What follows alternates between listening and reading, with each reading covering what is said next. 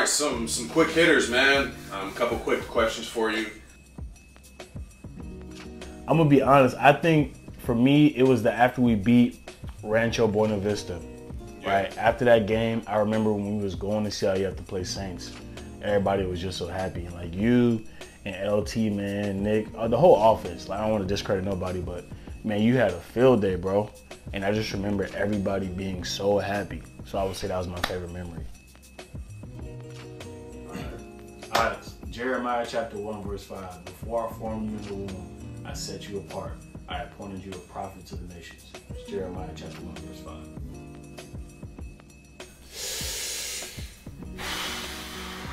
5. Man, I gotta go with the deadlift. Most competitive ransom gotta be the one right up under me, Javari.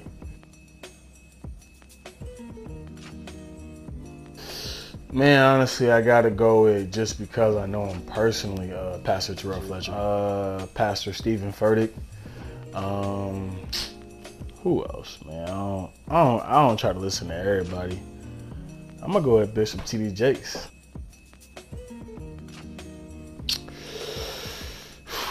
Man, to be honest, it's Inky Johnson. Inky Johnson, okay. You know, I, it's funny because I listen to Eric Thomas the most, but Inky Johnson is my favorite. Just just the story and just the way he carries himself as a man. I gotta go with yeah, Inky he Johnson. was a dog, man. Yeah. He was a dog.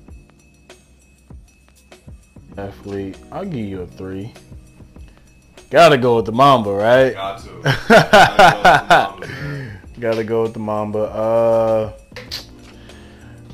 Kobe Bryant, uh, Terrell Owens, and Floyd Mayweather.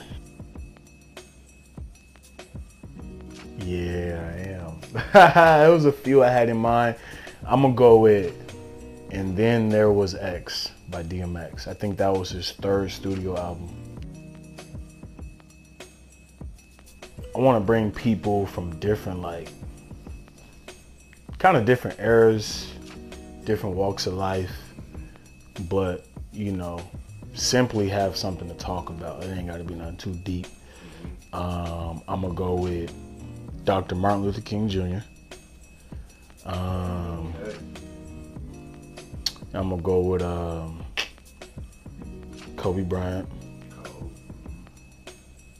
DMX. Uh, man, time, big fella.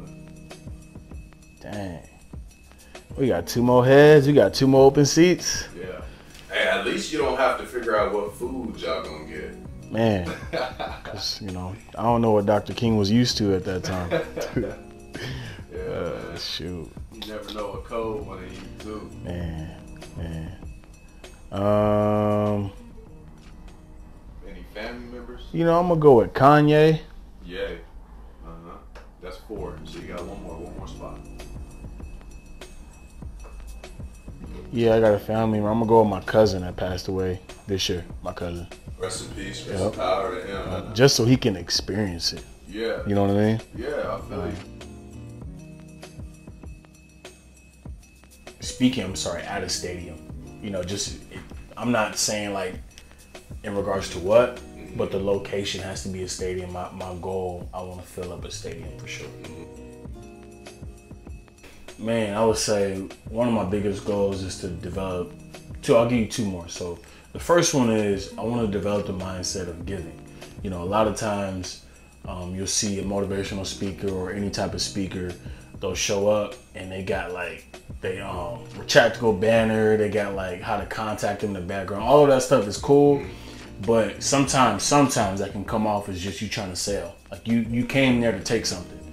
You see what I'm saying? So for me, it's like I want to continue to, to develop the mindset that I'm just here to give. Like I said, serve. I'm here to serve. So that's the first one.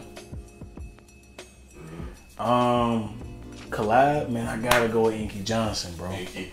Yeah. I'm trying to do a was coming. collab. Nice, For man. sure. Hey, Inky, man, if you listen to this, if you see this, if you come across it, Man, why not? That's Let's all I'm gonna say. Why let's not? do it. I'm here. What these what these women want, I can just Yeah. yeah. Hey, that's the one, man. That's the one. Whoa, whoa, not so fast, not so fast. Don't leave this video without liking it. And if you like it, you might as well subscribe. I got way more videos coming. Take it easy. See you soon. Peace.